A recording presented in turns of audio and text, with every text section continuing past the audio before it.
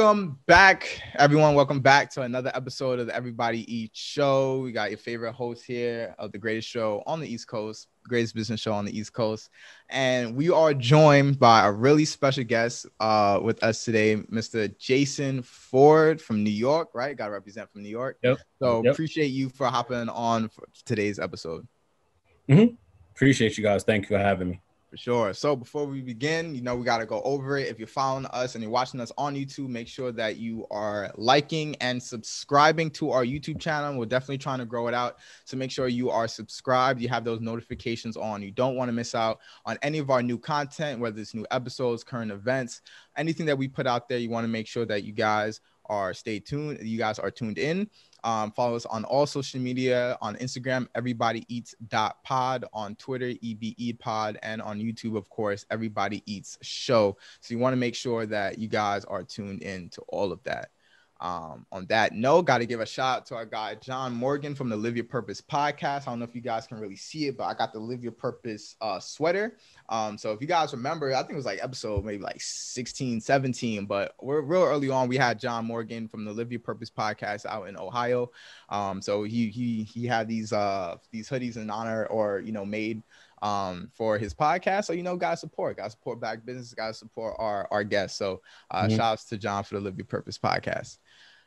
Um, on that note, that leads us to today's episode. So Jason Forde. So I like to say how how we met. So a lot of guests that we've had have either been through uh, like Instagram DMs or connections, right? So today, um, today's connection, um, shout outs to Freddie Mullins. So back episode nine, swoosh. Uh, Freddie Mullins, uh, real good friend of mine. Um, I don't know, a couple of weeks ago, we were just at work chatting it up, and uh, he mentioned we were talking about um, one of my favorite podcasts, EYL. He mentioned EYL uh, did some work with the PSA Cardinals, um, which is the AAU basketball team um, up in New York, uh, I believe out of the Bronx. Um, so uh, he mentioned that EYL did some work with the PSA Cardinals. He was like, "Yo, my buddy Jason, like he's a real dope. Like I know him since mad long. Like I think it'd be good to have you on the pod. Like it would be dope guest to have on the podcast." And I was like, "Yo, you know, we're always looking for guests."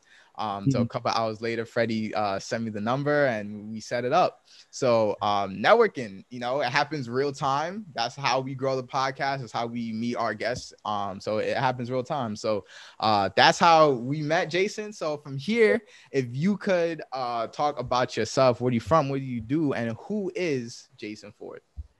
Oh, again, thank you guys for having me. Uh, again, my name is Jason Forde. Um, born and raised in Far Rockaway, Queens, um, to an immigrant, you know, immigrant households, uh, single mother, single parent household. families from Barbados, and we basically, you know, started there. And there's a lot of my roots are coming from living in that household, being a first generation American, and just knowing the importance of grinding out and kind of earning your way through. Um, since then, I grew up, um, grew up, and that's where I met Freddie in a, in a program that we were in together, um, where you know we started, we started working on, we started like working to find and figure out the best schools that we can get into, um, and then we all went off to college and stuff like that. So after college, uh, went to Wesleyan University in Middletown, Connecticut, uh, majored in math and uh, pretty much went into a career of consulting afterwards. So I did a lot of IT consulting, uh, did that for about 13, 14 years. Um, and then in the middle of my career, um, discovered my love and passion for coaching and playing and, and coaching basketball. A couple of uh, guys, a couple of guys that uh, I went to college with, randomly bumped, bumped into them and just started having an idea like, hey, would you mind helping me coach uh, this young group of, of kids that are interested in learning the game? And, you know, we want to kind of put the show on the road, so to speak, once we feel that they're ready. And uh, started doing that in about 2008 and haven't stopped since. Um, it actually has inspired me to kind of shift my careers from focusing on IT consulting and doing that work to doing uh, youth development and, you know, educational work, kind of focusing on Black and Brown male achievement. And what we ended up doing was taking PSA. Uh, well, at the time it was called it was an, it was named another it was named something else. It was called Team Scan, and basically it just kind of started simple, working with a group of kids that really wanted to kind of learn the game, uh, go out there and play. But what we decided to do was essentially um, have them play in you know places that you know locally but then also have them play in places that they haven't seen before just to get the experience of traveling right so what we instantly started to do is like we look for tournaments that played at colleges so that instead of saying you're going to go to college and having that kind of like top down thing figure out a way to where they can have success in those spaces and then they would naturally say oh okay i can i can work here because i played in a tournament here and we won um as or did really well or whatever the case may be. So uh, eventually, we decided to just make it into a, a, a, thing where we're going to use the sport to grant to to open doors for better academic and social opportunities, and look to have ways to get these kids to these young men to um, get to you know different boarding and prep schools um, through sports in in attempts to you know get to the best position possible for them to get into college. Um, a lot of the kids when we first started out were not coming from well, you know, under resourced and you know um, poor neighborhoods, and it was li- very limited access to you know having a quality education and quality experience. But through our own personal experiences, you know, pretty much the way that Fred and I met through the program that um, called Prep for Prep that we were all both a part of, we were able to then kind of help translate and navigate and guide these young men through. Um, so just staying with it and continuing to working and you know figuring out what's the best school situation for each kid. Um, we then got to the point and we kind of you know built a team a year after that part. We started with these kids when they were about in seventh grade.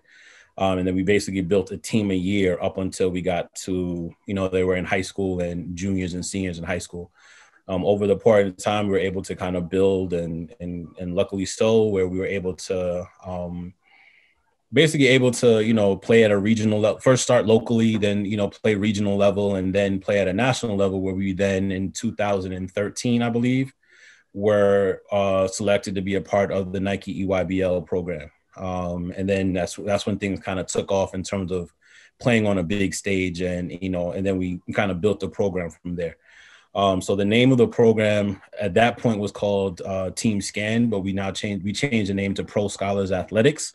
We decided that you know we we needed to kind of branch off on our own and and and you know God bless the child has own and kind of model that for the young men. Um to say you know we are in full control of our destiny so to speak. So you know we we started pro scholars athletics and you know the rest is is what it is. We've been blessed to have every class of our kids you know go on from our from going on from our first co- first sorry inaugural class of 2014 um, has gone on to uh, all have gone on to college. And you know we've had up to i think going on the numbers like 80 81 kids from our program successfully graduate high school and um, go on to college for free um, by playing either at, uh, at the d1 or 2 d1 or 2 level. That's amazing. And we've had all but out of that group all but maybe two or three two or three maybe four that have you know not gone on to to to go to access college for free um, you know what what I consider us now is not just a basketball program. I, I consider us a sports-based college prep, preparatory program, where essentially like the main goal is to get to college and how to navigate this high school space, the middle and high school space, to make sure that they're ready to, you know, one get to college, but more importantly, get their degrees um, debt free. You know, your life is very different. life is very different when you are 23, 24 with a master's and have no debt. So instead of being in the whole six figures, you can command hopefully a six figure salary through what you've learned there if you go all the way through. So, you know, those for for our for our kids, most importantly, that's the main thing, right? How do I get access to that education? Um, and all the networks that come along with it, right? We don't we don't meet, right? We don't meet if we don't have those access to the networks, like you were saying before how do you get these kids access to those types of networks without having the the associated price tag that that kills so many many dreams and ideas and families and, and whatever um a part of it. So you know to to be able to position to position as many young men to get that debt free access um to the education and the networks that are a part of those is you know is our, the name of our game for sure. So, no, that's that's a that's a lot. Um, first, yeah. I, I want to commend you because that's that's an amazing that's an amazing program, right? Um, and the uh, the idea of it being solely for the um, or not solely, but I, the main goal is being able, you said, to uh, get uh, these these these these young men in, into you know college for free, essentially. And I think that's just such a um, dope goal. I took I took a sports psychology class and um, I learned a lot about I guess sports as a whole. And you know, I, I never once heard about you know any programs meant to just get the kids into um, college and then you know along with college you know gobbling education or the league but um right that's like the the the main the main purpose of it rather than just you know you, you used to seeing especially in basketball in the basketball space a lot of um, cash cows you know they're trying to just use the kids for money and stuff so to see a program solely for the the purpose of benefiting these kids is actually really really no, no, don't get me wrong. Like we definitely like to see them play as and, and, use the sport as far as they get to. Like we've had, you know, some kids play professionally over the course of the years and have some, you know, some success that you know I can I can look back and say, um, wow, we built a program that has had some level of success.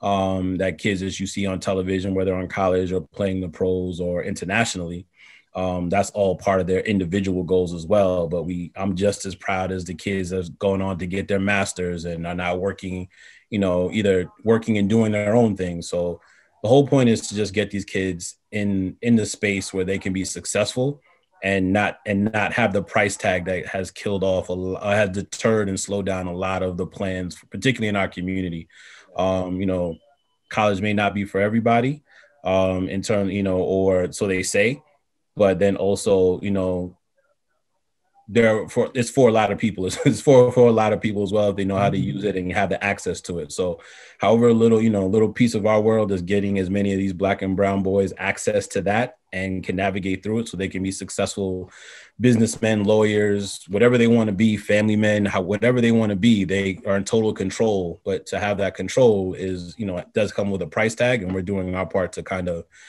you know let little uh, you know levy that out a little bit it's what, whatever means necessary mentality. Right. Whatever means necessary. And I, and what's even more crazy is the fact that like anyone who's played collegiate sports, like I never, but like getting to play collegiate is not even easy, right? Like for that that goal itself, one getting to college is one thing.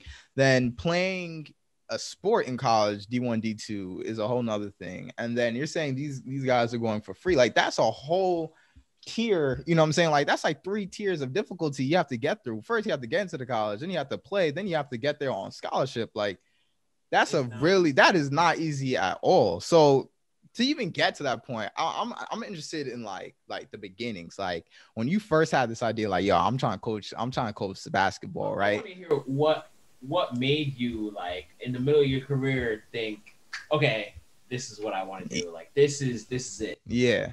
If could you could you explain that? um, that's a good question. Um, for me personally, it's when you know you know, right? Um, you you go you go through life and you want to work and and you want to be successful and stuff like that, and and success takes a lot of different meanings. But for me, part of success has always been can I help can I help others and can I you know go to bed at night go to bed at night being happy about the work that I did and my my career in consulting was great. I learned a lot. I was around a lot of smart people. I did a lot of you know interesting work but it didn't necessarily it wasn't as as, as soul enriching as as i want as i it, it didn't have that component to it. So coming home on the weekends and doing volunteer coaching and then realizing that this was a thing that i could do that i that i liked. And then i liked working with the young men that we were working with and seeing them progress. And then help help guide them through that you know that was kind of like oh this is my thing. This is my passion right? And i always knew going into coming out of college that like i'm going to work this particular job and until i find that thing that i really love i'm going to learn all that i can. And then once i find that thing at the time i didn't know what it was but at the time you know i find that thing i'm going to take everything that i learned and apply it to that thing that i love right? So I did not come I did not come out of college with an idea of like, hey, I'm going to coach, you know, I'm going to build this or anything like that. It kind of happened organically. And once you kind of find that thing, you kind of just okay, let's just be consistent and how do I how do I get better at it? You know, how do I coach this kid? How do I communicate with this kid so that he understands? How do I encourage this kid because um, there's a lot of things that they're going through. How do I set the structure right so they understand the level of expectations that we have? And, you know, I'm still competitive. So if I'm gonna go out there and coach and, and work with these kids, I want to win. And, you know, teach those kids not only how to play, but learn how to win and how to communicate. And there's a lot of different things that come out of that situation where you know it's the the the gym is a classroom right the gym is my classroom like these are things that you know there's a lot of things that you're teaching in that time and and as time went on and also work and then there's nothing better and i'm sure you guys can attest to it as you know doing the episodes of this podcast there's nothing better than doing those types of things with your boys right? People that you can rock with that you can trust that you can build with and kind of build that brotherhood as you kind of go through that you're willing to go with through the sacrifices and the ups and downs with. So it really just started out helping that group of kids and then it kind of grew and then we kind of saw opportunities and said okay if i get on this level then it means more opportunities for these kids once i get on this level okay there's another one. Okay there's another one. There's another one all for getting these kids through. Um, and things kind of grew grew from there. Um, and then you know just like anything else you just kind of stick with it and keep on growing and growing. And then the opportunities and will open up for you if you're willing to put the work in to kind of get better and you know hold hold yourselves accountable hold these kids accountable.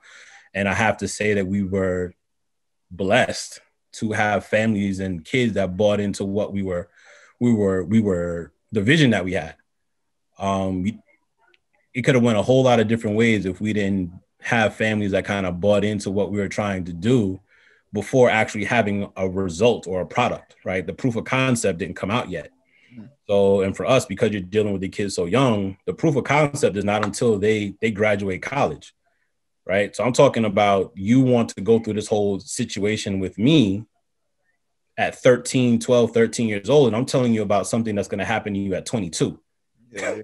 Right. So you have to buy in and want that same thing from that point on and be willing to go through the ups and downs of it all um, both grade wise, academic, you know, grade wise, socially, basketball wise, their development, and you have to be there and be willing to put that consistent love into them and pour into them, and then they'll respect you for it because you've been there consistently figuring things out with them. And you know, and then you know, next time you look up, you're like, oh, okay, this whole class went, or this kid's going, or, or I see, or I remember talking to this kid on television. I see him now on playing at Syracuse or Kansas or Duke or wherever else. And um, you know, it's been really a good joy to kind of see the progress that we've had and, and stuff like that. So hopefully that answered your question. Yeah. yeah. Um, I got, I got, I guess for me now, you said uh first you started volunteering coaching. So the the the, the volunteer coaching that's that that was before PSA, right? Like that was a different program, and then you formed PSA, if I understand. No, no, we all started off at Team. It was called. We were initially called Team Scan. Teams. Okay, so that was where you were volunteering coaching that same program. Correct. Same okay. kid, and then by the time they got to June juniors, we changed the name. We decided to kind of branch off on our own. Got and, it. Got you know, it. Okay. The program because we were, you know, we were realizing we got to an uh, in a tipping point. We got to a tipping point where we were getting a certain level of notoriety, but we wanted to have complete control of how we moved, the kids that we were kids that we were working with, and and stuff like that. And it was just it was just a better business decision to kind of like you know bet on ourselves a little bit and kind of figure it out from there. So that's what we, so we formed our own not you know at that point we had formed our own nonprofit um, and called it Pro Scholars Athletics. Um, uh, we we go by the Cardinals out of this homage of you know the school that we went to, the college that we all went to, the founding directors, um, myself, Terrence Williams, Justin Ware, and Andre Charles. We all went to Wesleyan, and the mascot was the Cardinals. So that's how the PSA Cardinals came about. Understood. Um, just kind of like a homage of where we all went to school, and yeah, that's how it all kind of started from there. So we started off as Team Scan, kind of rebranded a little bit PSA Cardinals, and then you know we are where we are right now. Got it, got it. Nah, that's that's crazy. That's that's real dope. Mm-hmm. And for me, like I don't know, like I kind of mentioned offline, like most of the people we've we've uh, spoke to, kind of like have businesses. Um, we've spoken to maybe like one or two people who have a nonprofit, but definitely just like coaching, organizing, and being responsible for entire team.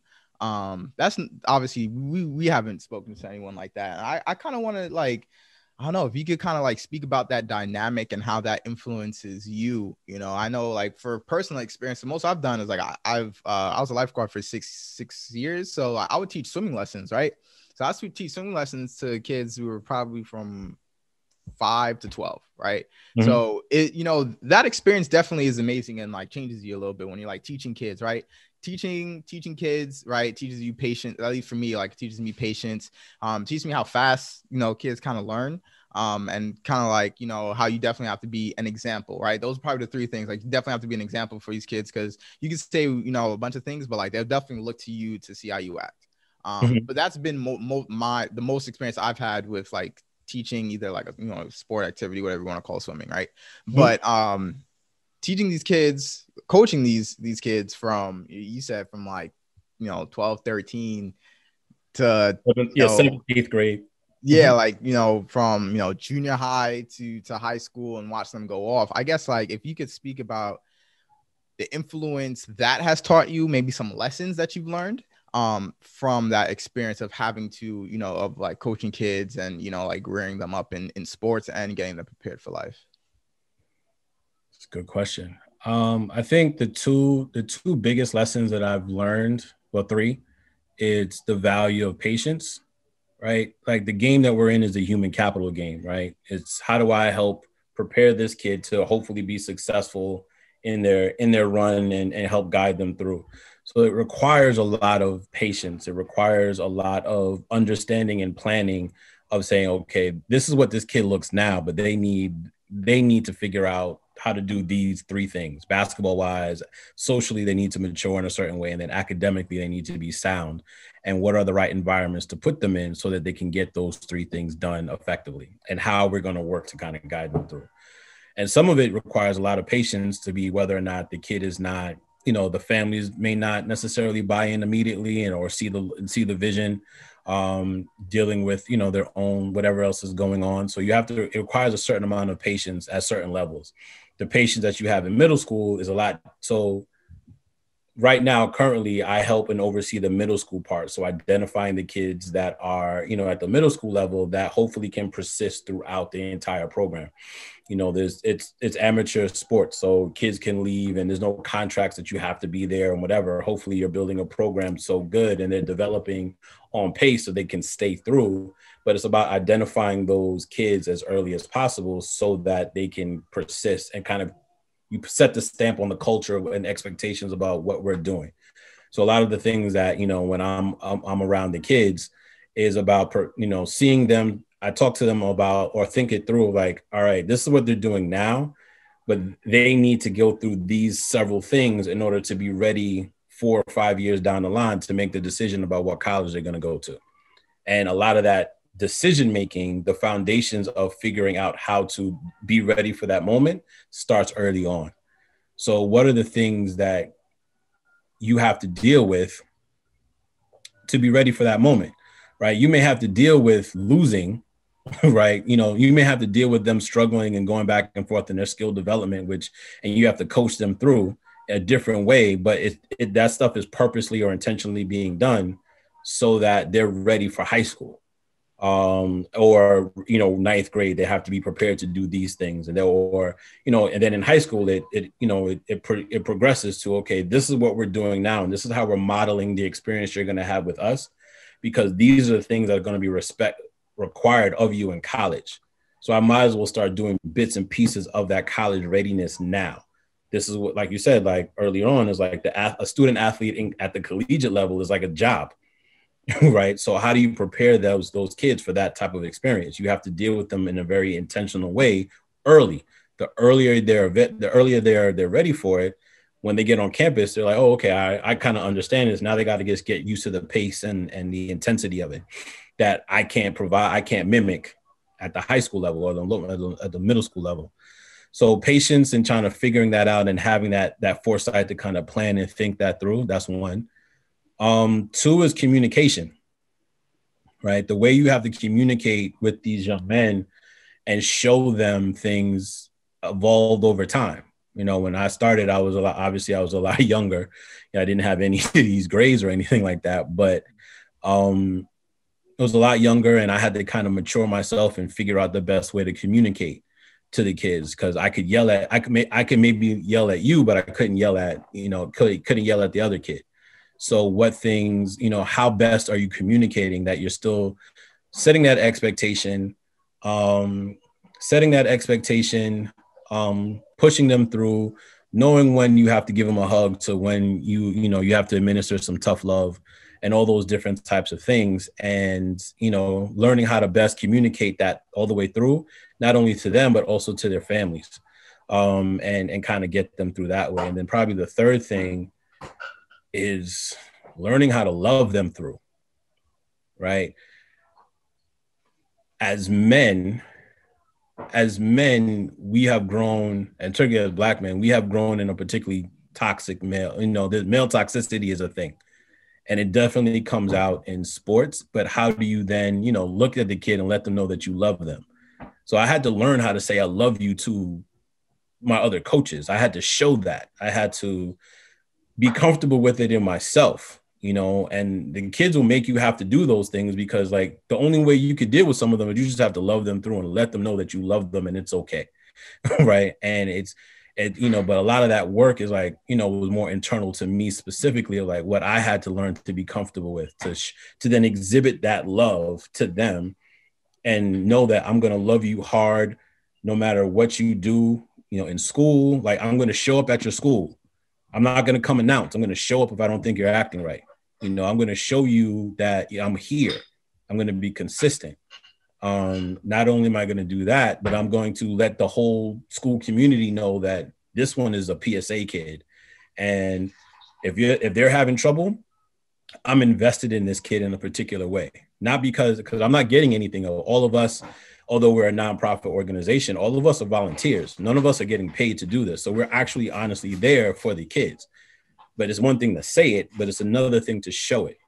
And you literally have to love them through some, you know, whether let's, you know, let's stay up. Did you get your homework done? Show me your homework assignment. Um, you know, you're not doing this. Well, I, let me talk to you. You know, let's talk to the parents about how we got to, you know, get you through this, or what do we need to do to work together. So, it's really the having the patience, learning how to communicate better, and learning, you know, for I guess you want, if you want to call it, increasing your emotional intelligence, so that these kids know that they're loved, because the world, the world deals with them in a very specific way. If you're, you know, you know, if you're a black or brown boy in, in this in in in this world, so you have to let these people, know, you have to let these boys know that they're loved, that they're wanted, they're appreciated, um, not for not for what their skill set is on the court, but for who they are as a person.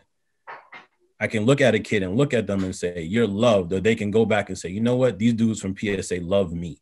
And if I have if I'm in trouble or have an issue, I can go to them and talk to them and know that these guys are gonna love me through it. Um, and want to make sure that I'm in the best position to to succeed. Nah, that's good shit, Black. we, don't, we don't do like a segment like that. I, I just got that phrase from from another podcast I listened to. But for real, y'all, honestly, that is out of everything. You know, there probably will be said in this episode. I think that that should be somebody clip this. Um, but nah, I re- I really I, I, I really want to congratulate you on that. Um, the whole time you were talking, I was thinking about uh uh my sports sociology class, and and they they go a lot into how coaches aren't uh um, qualified. A lot of coaches aren't qualified, especially in the high school space. You know, they're just teachers at the school. Mm-hmm. Don't have any real uh, education or, or, or, I guess uh, real real qualifications to coach a, a sport. So just hearing, um, I, I, had a question I was going to ask, but you kind of answered it as you went, especially with the um, the emotional intelligence and, and just relearning all that. But um, hearing the way you went about it and go about it is actually really um, touches me because um, whole time my last semester in college I was taking that class I got really infuriated because uh, you hear a lot of coaches don't really do that. They kind of just see the kids as uh, they just want to win. You, you, get you get a lot of favoritism and whatnot in in um, in the teams and everything and just hearing you uh, wanting to build that or or stressing it in in the way you conduct yourself with the with the um, with the kids in the program, just about uh, all the all the um, the love you want to give them, and just letting them know that you know there's there's space. You know, I may I may be hard on you, I'm your coach, but there is a space for you to come here and and see me as another potential um, parental figure, which is what I was going to ask. You know, especially doing you know the type of program you do. I'm sure a lot of these kids see you as as like a third parent or another uh, source of uh, emotional mm-hmm. So Uh, yeah, I mean, it's all in partnership with the family. So it's not like I'm, we're not like, not this is me, but it's not like we're, we're developing relationships. At the name, at the end of the day, this is also a relationship business, yeah. right? I, no matter what we do, we're always in communication with each other and always in relationship with each other. And my dynamic on my, the way that I relate to them will change over time. So, you know, like I said, me as a middle school director, like I'm going to be looking at them at the middle school lens in a very specific way while they're with me. Once they get into the high school, my relationship, my personal relationship with the kids in relation to like PSA and what we're doing, my relationship shifts a little bit, right? So it's more of a, I'm a, you know, a supporter. I'll, I'll still go watch kids games of, of kids at, you know, at any level, any level of our kid, you know, whether in middle school or in high school or in college, I'll still go watch their games. Um, I'll still the you know the ones that I have relationships with like that. I'll still text them and like, hey, are you good? You know, happy birthday. They'll text me, hey, I know my my birthday was recently. I had text from like four or five of the kids saying, hey, happy birthday. How are you? Um, what's going on? And we'll talk about stuff and we'll chop it up.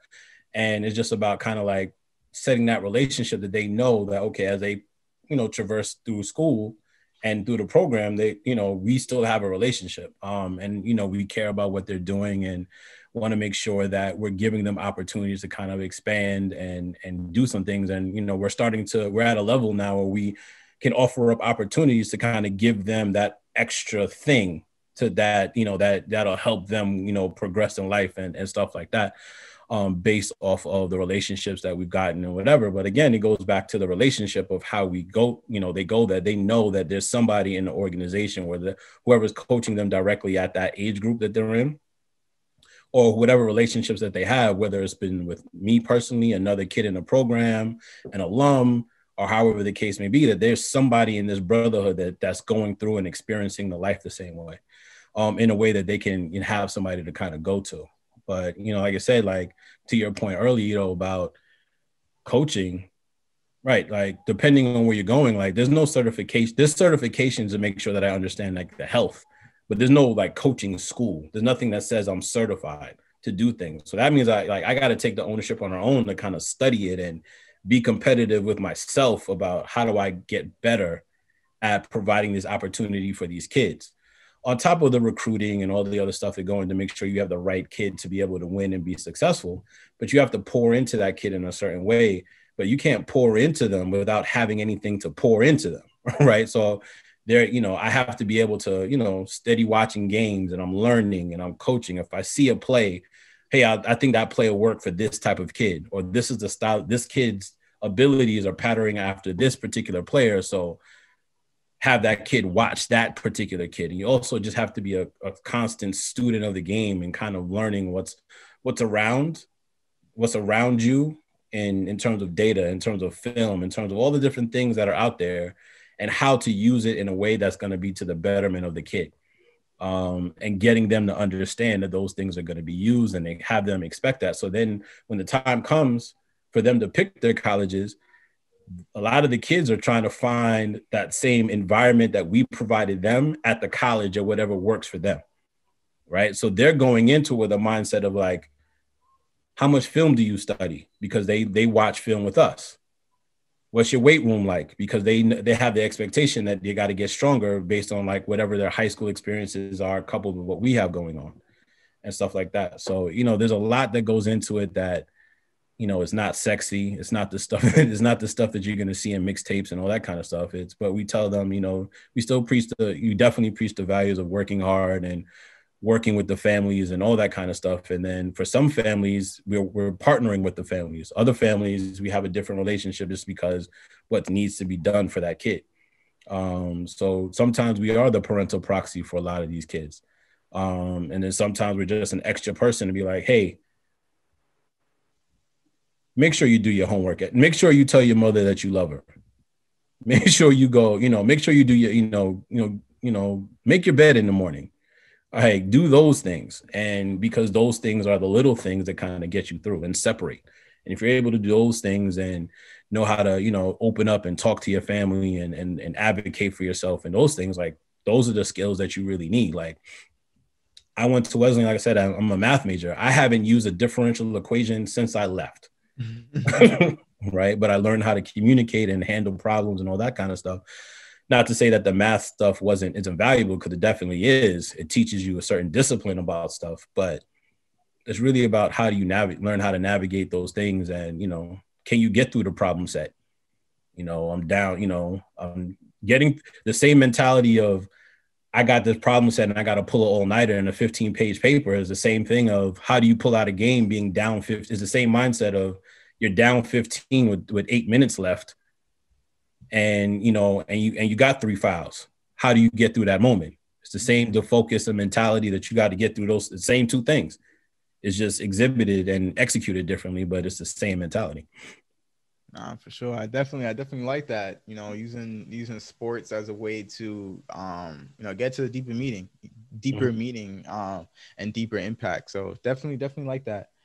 Um, before before we, we cover more, I wanna I wanna wrap this up real quick so we can hit to our second segment, and then we can get a little bit more detailed in that last segment. Sure. Um, so on that note, Edom, uh, he'll pull up the quote today's quote of the day. Mm-hmm. Um, and then we will do that before we hit our third and final segment.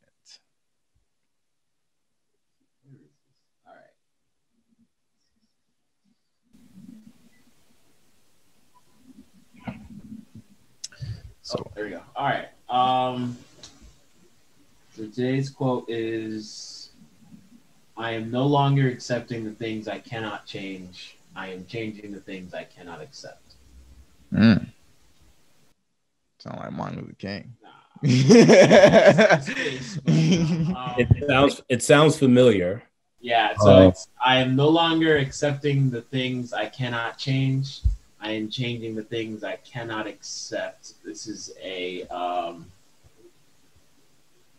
I can't say young woman, but a woman um, born in Alabama, uh, activist, black activist, African American, um, Alabama. Born January 26, 1944, Birmingham, Alabama. Um, is, that, is, that, Shirley Chisholm? No, last name is. Uh, is that David? Angela Davis. Angela Davis? Angela Davis. Angela Davis. There we go. We got a picture of her on the wall. Shout out to, to this. I didn't know she was born in uh in Alabama. Yeah, I didn't know that, but I was just basing. Quick Google search, real quick. no tips to give you. But word. That's a good one. I mean, that that one of our one of our mantras is own your destiny. So pretty much it's kind of like the same thing. Like do the things that you can control, right? Take care of the things that you can control, and everything else will play itself out, right? And I think for us at PSA and what we you know try to go try to govern ourselves by as well um for better or for worse, is we want to be in full control of our destiny from the program level, for us as men, as the leaders of the program, for us as coaches, for the ways that we go about preparing our kids to, to perform and, and, and ultimately win. It's control what you can control. And if you do that at a high level and, and you take care of those things, and it's your it's your attitude, you know it's your attitude it's your effort is being on time um, and is you know then on the court is defense and rebounding and control and, and, and those are the things that you can control because i could have i could get any clean shot that i want to on the court but some days i just have an off day. And some days i can go two for i can go two for 20 and sometimes i can go 19 for 20 right? But though you know everything else is just in your control or your effort you know your your effort your energy your level your you know ability to communicate and kind of go all those all through is like those are things that you have to own. And if you own those things and do that at a high level you know a good percentage of the time you're going to win right? And not, not only on the court but in life. Control what you can control mind your business and kind of own your destiny and don't let don't let things out of your grasp but then you will then turn around and have to have all these conditional circumstances happen for you to get your way right? And like i said for us you know any basketball tournament is a perfect way to kind of you know talk about that stuff or exhibit those things right if you're in a tournament and you're playing in pool you want to win your pool so you can advance right? You don't want to be in a situation where you gotta if you win and then the other if you you have to win and the other team has to lose, but they got to lose by like five points or you got to win by nine. Like those are all things that are there, but those are all conditions in order for you to win.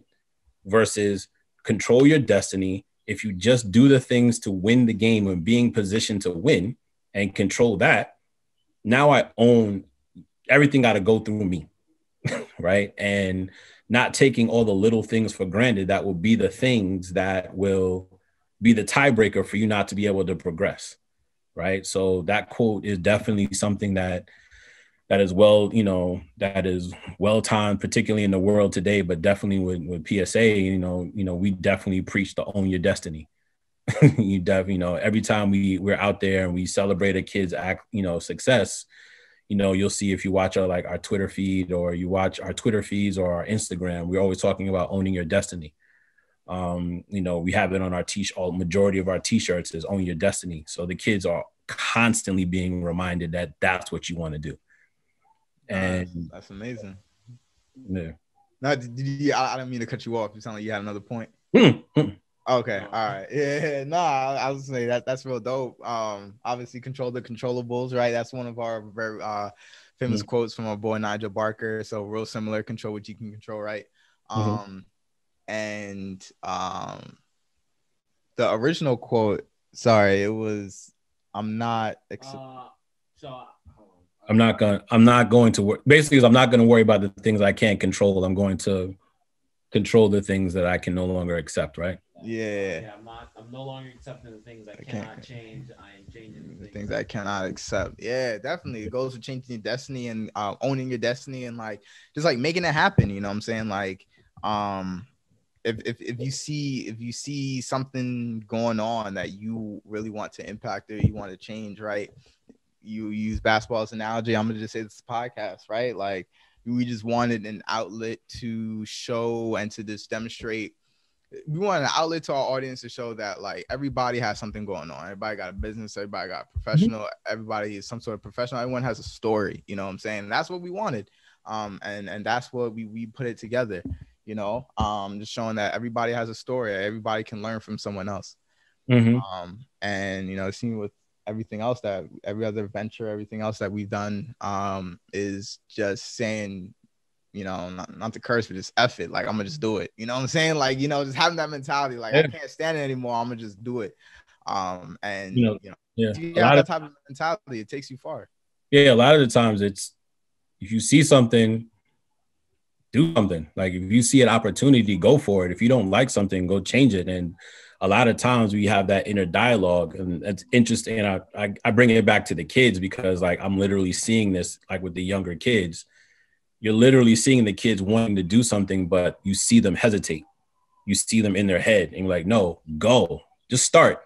I will deal, we can deal with whatever you're doing, but what you cannot do is hesitate. Mm. Right. Go take advantage of the opportunity that you see it, particularly on the court, because that will be the that will be the the thing that may that may be the thing that may jumpstart another opportunity for you. But if you're constantly giving up shots, if you're constantly not communicating or hesitating or whatever, it's in those moments of hesitancy where you lose the opportunity and somebody else is going to take advantage. Mm. And that's why I love sports because those life lessons that you can't necessarily teach in school or you have to go through a quote and dig through a quote and go find and and whatever like no like here's the pick and roll instead of because you're afraid to get touched you you you died on the screen and this happened no how about you fight through the screen this way? You have two choices. You go over or you're under. If you're going to communicate, this is how you communicate it now. So now we always, you know, I started talking about um so my so my current nine to five is I'm a school administrator at a charter school in, in East Harlem. But I started coaching and working with the kids there, and we talk about the difference of responding and reacting, and how responding, reacting is just like this happened and you just get overloaded and then you react in a certain way versus I'm going to respond because I have a certain amount of information, I have a certain amount of tools, and I know what my options are. So when this situation happens, I'm going to choose to do a couple of different things. I, I know the, the different things that I can choose, and I'm going to pick one. And then if it works, great. If it doesn't, then I know to pick the other one. But that's okay. So it's all about being in the moment and knowing how to respond. But being but being able to respond is so much about having the tools and knowing what your options are. No, that's powerful. Responding right. versus reacting. Right. So yeah. So if you know how to respond to it, then you'll then you change things up, and then you can be more creative in that space and with that opportunity. But that's why I love coaching so much because you have implicitly within the game or within practices, particularly in practices, ways that you can watch to see how they're responding and re- reacting, teach them how to respond differently, and then say, okay, and then watch them adjust. Or if they don't adjust, now I can harp on it. I can I can hold you accountable because, you know, one thing that one thing that kids respect is playing time. right? Mm-hmm. So if you don't do what you need to do or do it the way that I need it done, come sit down. Somebody oh, and they learn that lesson really quick. If I don't if I don't perform, somebody else is coming in to try to figure it out. And if they figure it out before I figure it out, I'm sitting on this bench and I got to wait for the another opportunity to get back in. So it has everybody on high, not necessarily high alert, but attentive and mindful of like, it's okay to make mistakes, but I'm not going to make the same mistake twice. Because if I make the same mistake twice, somebody can come take my spot. Yeah. Take my time and I want to play. So you have all these wonderful opportunities and, and learning opportunities and adjustments that they can make real time. And that constant repetition of it and reps of doing it now they got to make the connection of translating it to all aspects of their life and you know we've been able to see the kids grow in that sense because we're talking about it a lot and so you know like i said i know i went all may have gone on a little bit all over the place but um it's it's um those things that that i love what i love about coaching and i love about the opportunities to kind of give these young men chances to kind of figure it out um because life is very unforgiving and it could you know they don't necessarily give them a lot of chances to to figure it out particularly particularly in you know in the bodies that we're in. That's a fact yeah. That's a that's a word that's a bar. I had something to say but i mean you you both really covered a lot of it especially you um uh, jason but uh yeah i guess to beat the dead horse control the controllables man and and and something you touched on i guess don't let things um get out of hand you know, don't let things get out of, don't let things like pass you by so much to the point where now, um, I think you brought up that pool analogy where now you have to win by um, certain certain events happening rather than it being in your own control. And uh, my final point is my memory's failing me. um, oh man. Oh um yeah. Um, my final point is I guess um uh, what I was thinking of is people who like to complain about legislation and, and their president and stuff, but who don't vote. So you know, if you're gonna go out and complain and and, and um, yeah, you gotta write about everything. Yeah, you gotta do your part. And, but here's the thing: there's some people their their whole career is based on just sitting sitting on the sidelines and griping, right? Their whole careers about that, and there are people that it's much easier to do that and share their opinions, but a lot of the times it's like, okay, cool. What are you doing? Right? What are you doing about it? Um, how are you going to engage in this? Because if you're not, then why are you talking? Like you're just talking because now you want the attention versus like, all right, you know, I may be out here, but or that kid may be out here, but that kid out here is actually doing something, fail or succeed, they're in a position to actually affect change versus you wanting to talk about it. So it's it's it's it's always interesting in in in knowing and hearing the peanut gallery and what they're gonna do and the trolls and all that other kind of stuff versus all right, cool. But what are you what are you gonna do? Yeah. But I'm at least I'm out here, I'm out here in the game. Yeah. like I'm, a, I may be out here in the game and I may fail, but I'm in the game trying. Yeah. it's a difference. It's a difference. But um on that note, uh, let's take. We're gonna wrap up this second segment. So, Eden, if you could say a quote, then we'll take a quick break before we hit that third segment. All right, welcome back. So we are uh, going to wrap up uh, with this one last segment with Jason Forde. So we just had some great conversation talking about, um, you know, what it takes. One, you know, great quote of the day, and then two, back on segment one, um, talking about uh, the history of PSA and you know the influence that has. Um, so for this segment, I'm I'm interested in uh, I guess like the technicalities of running uh, nonprofit sports organization, right? So um, I'll, I'll save the coaching question for, for last. So I guess like as an organization as as a whole, um, as a nonprofit, how is that functioning in terms of funding, right? I guess you have to. I'm sure there's equipment. You have to find a place to practice. You have to find a place to play, right? Mm-hmm. well, games and traveling. So kind of like if you can, like, how does that work? Well, one, it, it doesn't work in a vacuum. Um, like I said, I've been very privileged to work with some amazing guys that you know are good at, at good at what they do in terms of logistically um, figuring out ways to make it happen. Um, both have this that have the both the skill and the will to just figure it out, right? You know, and that you know, so you know, the guy, the other coaches and the other directors are you know, I think we do an amazing job of kind of figuring it all, figuring it all out. Um, it does feel at times um, when you are, you know, running a nonprofit or a business that you there will be times that you're feeling like you're you're building the plane while flying it, and you kind of figure you know, like you said, but it's a lot of like just gonna figure it out as you go along. Um, in terms of the logistics of it, it you know, it really this is where I was saying before, where I'm going to take what I've learned in my consulting experience and and bringing it here. It's a lot of you know vision thinking forethinking and planning and kind of having everything kind of organized in that way which is why you know i credit a lot of the work that i personally have done and how i've done it and, and by no means am i you know the bet you know you know the, the the expert of it and there's always room for improvement. But the planning and thinking through okay you know what? They got a tournament in six months let's go try to figure out the hotels now where they have vacancies and, and all that kind of stuff and having that kind of checklist of things in terms of building schedules and finding program and like finding build uh, practice space rather and and all that kind of stuff. You just kind of like tick and tie and just say okay how can i consistently get those things? And again it's the relationship business right? So how do you work with you know other other places to secure building space i mean practice space and facilities and stuff like that when you need to um, so you know, a lot of that is, you know, I I, I go back to my um, consulting experience and relationship management and vendor management and all those kind of things to kind of initiate those conversations and just kind of figure out, all right, here's how to do it, or you know, work and and you know, truly, like I said, own your destiny and figure out, okay, what are the spaces that I can control, and then make sure that they're available for the kids to to practice in um so uh, those types of things. So but that's always that can change and flux. Like i said covid has provided a lot of different you know wrinkles to that because certain spaces that you where you're accustomed to being in you can't get into um as much because of covid and you just kind of figure out how to do it.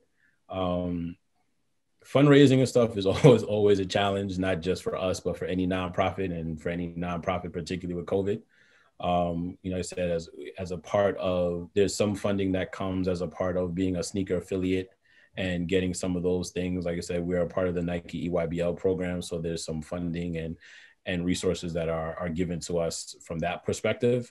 And then the rest is just like grassroots kind of funding, crowdsourcing, um, working with you know different folks to get in in kind donations, some partnership opportunities that pop up and stuff like that you're always kind of managing that side of the business and how you can kind of expand what you have.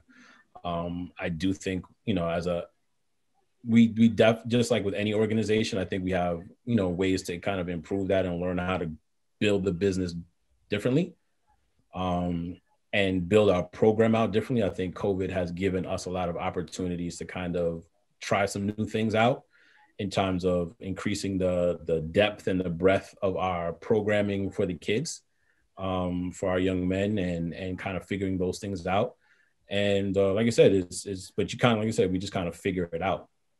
It's not easy, um, particularly with the you know travel logistics. Uh, um, like I said, a lot of our kids go away to boarding and prep school, so we're thinking about our older kids that when you know sessions come along and kids are coming from literally all parts of the East Coast. How do you get all those kids at one time to practice? You know, how do we practice? How do we make sure our practices are good enough and intense enough to because we're only going to really have them for maybe like anywhere from five to 12 hours in, the, in a span of 12 in the span of two weekends how do you get enough practice time in so that they do that? But then it's also, you know, our ninth grade team, our 10th grade team, our 11th grade team, the middle school. How do we do all those different things? So you kind of have to compartmentalize it to say the 10th grade has this stuff going on, the 11th grade has this stuff, the ninth grade has this stuff. Here are the opportunities and times where we can all get together and do an event together um, and kind of schedule it all off. And then, you know, if you plan it out accordingly, it's basically it's basically like project manage program and project management 101 of how do you kind of parse those things through um, like i said between like my program experience my program management experiences and some of the ex- business experiences of our you know some of our other directors um, you know we kind of organize it and kind of just communicate over communicate and just you know hold the co- coaches accountable and just get it done. Like here's the plan. Be there at nine. You don't have time to show up at 905 because you need to be in there ready to practice at 9 and be out by 11 because that's the amount of time that you need to work with and hold you know making sure that everybody has the ability to execute the plan and kind of go from there and help each other out and be available to kind of help each other out. So it's not easy. It is definitely a labor of love. Um, there are always going to be wrinkles that kind of come in the way but you know it's hey you got to get it done. At the end of the day, you know, you know, if you if you're home with your wife or your girlfriend or whoever or your kids and the light goes off, they don't care about the story. They care about the light is off. so you know, you know, it doesn't matter about the story. The result is a result. So you just got to figure out a way to get it done, um, and and kind of go from there. So you know, just you're nobody's gonna care about whether or not the Wi-Fi is off you know why it's off. They just know that it's off, and they want they want they want to get on the back online. So uh, just got to figure out a way to kind of put your head down and just get it done. I like that. I like that. So um to to wrap it up real quick, I get my last question is as a coach, right? How do you develop your skills, right? How I guess who coaches you, you know, in that sense? Like how do you develop your skills as a coach so you can you know teach these kids because you have students who went to the league right i know um i viewed your website mo bamba cole anthony was part of that program so Mm-hmm. how do you develop your skills as a coach so you can prepare these students for success and even some to be going to the league well one you're you're constantly you're constantly learning right? The moment in any relationship where you feel that you're you've learned you've seen all that you can see and know what you all can know is the second that you're done, right? You're always learning. So as a coach, you're you're you're always on the look. One as a coach, you kind of have just like in any profession, you got to put the time in to kind of work and kind of figure it out. Um, from everything from identifying the talent to understanding what development they need to um, figuring out based on the team that you have what's the right system defensively and offensively that they can do and and and what do you want to teach them and stuff like that you're constantly learning and drawing from different examples and resources that are out there um, i think you know for me once i started coaching and being involved and realized that i had a passion for it then things changed right? So I no longer watched NBA basketball as a fan. I watched it to learn and figure out time and possession, different things that coaches decided to do, why they decided to do it. Like literally, so now when I'm watching games, I'm not watching games just as a fan anymore. I'm watching it as a coach, trying to understand the rhyme and reason as to why people are doing things. Um, yeah. And then you also kind of put the your 10,000 hours in and just kind of figure it out. Um, and you're going to make mistakes. You're going to make a lot of mistakes, but that's cool. You just got to learn from them and not make the same mistake twice. Um, and then as time goes on, your experiences grow, your the scenarios that you're accustomed to grow. You understand what works for you, um, because what may work, you know, as as I as the program developed, I kind of went from being a coach to being a director. So I'm coaching the coaches. Mm. So I it's not about me willing my eighth grade coach to do what I would do. It's about preparing him and the coaching staff to deal with all the situations and then and then come into their own about how they want to do things. And then, you know, be there to be like, hey, no, you know, we have a certain standard. You know, defensively, we have certain expectations. Offensively, we have certain expectations. I need to see development and growth, and I can focus on that and then help the coaches develop into those spaces. Right. So from my program standpoint, you know, for myself and the other directors and some of the other coaches, you know, we love to have young coaches come in and want to be a part and want to learn, not for all the glory of saying, hey, I want to be on the circuit, but they legitimately want to learn how to coach. They're legitimately there for the kids. And then we can pour into those coaches because I can only coach a team of 12 at most, right? But if I have five coaches, now the program had that that are doing it that we can kind of like develop and grow those coaches. Now I got my 12 and the other 12 that those five coaches have and now we got 72 kids that we can now reach and and, and positively influence in the same way so it's all about kind of working with each other learning from each other. Um, obviously like you said we've had kids that have gone on to play at you know high you know you name your level of d1 level um, D d1 level and make it to the league. And then you get to know people and you learn from them. So a lot of the things that we do you know went on the road with the kids, we learned from, you know, talking to college coaches because we went on college visits and went on tours and stuff like that. And, you know, get to know college coaches and your Rolodex grows and, and, and stuff like that. And you learn certain things. So, you know, certain, certain habits now we now do on the road is just a commonplace PSA thing. So one of the things that we do, because we saw it being done in certain colleges is we take the phones so, in order to kind of eliminate distraction, the outside world, and to force them to communicate, because again, the most important thing in team sports is to be a, the ability to communicate, mm-hmm. right? So, but if you don't force opportunities for them to talk to one another, they can't create that bond and that trust that will then show on the court. The best way to do that is you take their phones and you force them to talk. You have only have to worry about I'm going to make sure you're fed, your homework is done, your your you know your parents know where you are or whatever the case may be. But all you got to do is concentrate on winning this game and talking to your teammates, right? And we got that from college, from college coaches, and seeing what they do, and you know just just anything else in terms of if you want to learn, you just learn and you surround yourself with people that that that want to learn as well and ask questions and you know, and the coaching community is a great community in the sense that they want to show you because everybody likes talking about themselves. Want, you know, hey, I like that play. How do you run it? Okay, let me show you.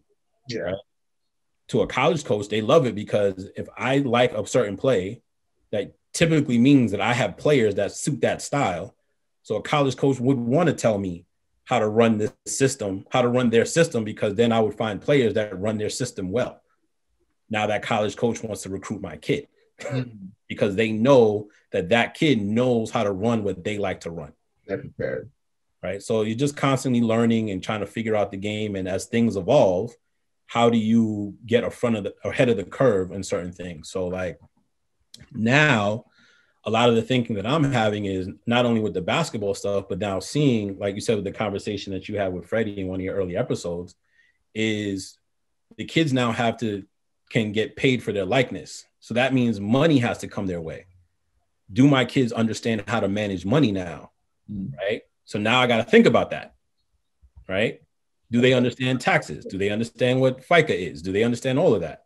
Um, so you know, there's a lot of growth and kind of seeing what where the direction things are going and how do you want them to be prepared for that. So you're always learning.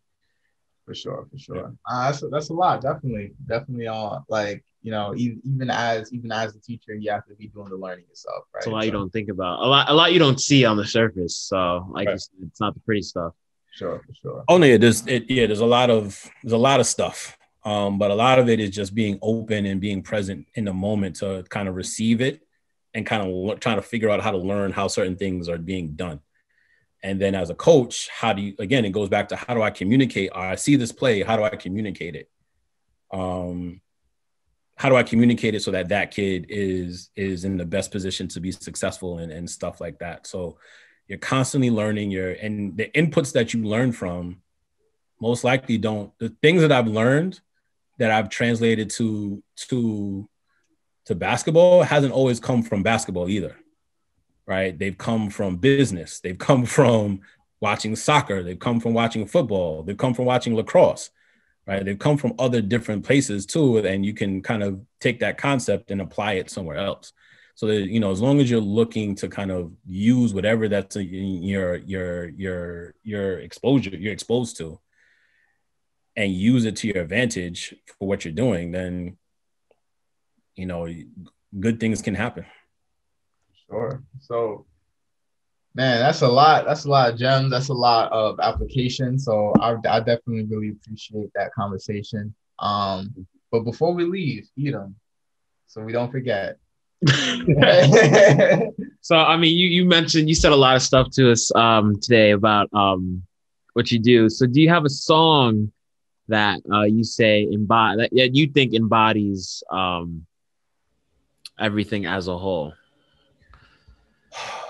a song that I like or that that uh, represents your journey. Represents right? you know, your like journey or that you put into to coaching PSA Cardinals. A song that a song that I listen to, and I don't I don't really talk about this much, but a song that I listen to before games a lot, whether I'm whether I'm coaching or just there watching, um, is a song by um uh why am I blanking on their names? Uh Mos Def and Talib Kweli um called Thieves in the Night. Right. All right, Bensky knows this one. Yeah, Thieves in the Night. You know, it starts off, give me the fortune, keep the fame. Right. Just let me get straight to that bag. You can take all the Black Star album. Okay, okay. The Black Star. Is it, is it, hold on, I I even see it. Hmm? Oh, okay, okay, okay, okay, okay, okay. Yeah, it's like one of the last songs on the album. Yeah. Thieves on the Night. Okay. Thieves in the Night. So it's you know when you listen to the lyrics, it's you know it's all about you know staying away from all the glitter and just going for what really is important and understanding who you are, who you are, and choosing you know choosing who you're gonna be.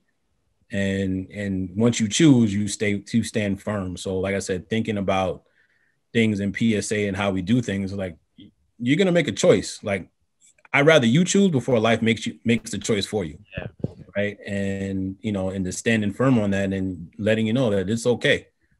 Like, you know, as long as you're doing the right thing and you're positioning yourself for success and your family for success and you can you can lay your head down at night and be good, that's all that really matters. Um, and like I said, we've we've had some success where kids you know, going on and graduate that never thought they can get past high school to, you know, kids in the pros and watching them on TV, you know, it's been a blessing. And, you know, I, I, definitely, you know, I hope that they, they look back on their PSA experiences and the families look back on their PSA experiences and say that we were able to kind of, you know, be a part of that journey for them in, in the, in the, in the best way possible.